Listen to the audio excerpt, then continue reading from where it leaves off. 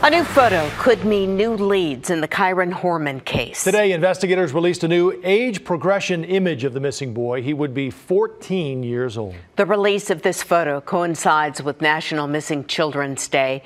KGW's Kyle Iboshi spoke with Kyron's mom today, along with investigators. Kyle. Kyron's mother hopes that people will share this new age progression photo. Take another look. Investigators believe this is what Kyron Horman would look like today at age 14. Horman disappeared on June 4, 2010. He was last seen at Skyline School in Northwest Portland. He's never been found.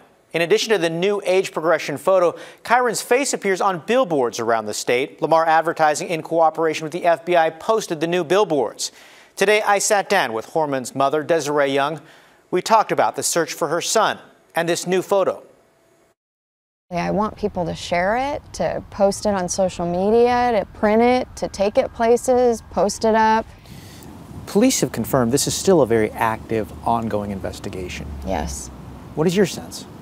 I am uh, really optimistic. We have a great law enforcement team uh, in place right now that has been working really hard on a lot of different aspects of it. And I think that that uh, that's critical, and I think that when you look at it from uh, the perspective that they are now, as a long-term case, long-term missing case, uh, there's different things you have to focus on, and I think that they're taking those uh, positions now.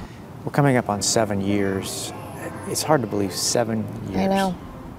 I every time I hear it out loud, it's seven years. I would have never told you that we would be here. Um, talking to my husband that day on the drive up, I just knew that we were going to get the call and everything was going to go back to normal. normal, whatever that is. And seven years. I can't believe it. Police are encouraging anyone with information about Kyron's disappearance to call. They just need that one good lead. They're offering a $50,000 reward in the case. Back to you. Oh, what happened to that little boy? Thank you so much, Kyle.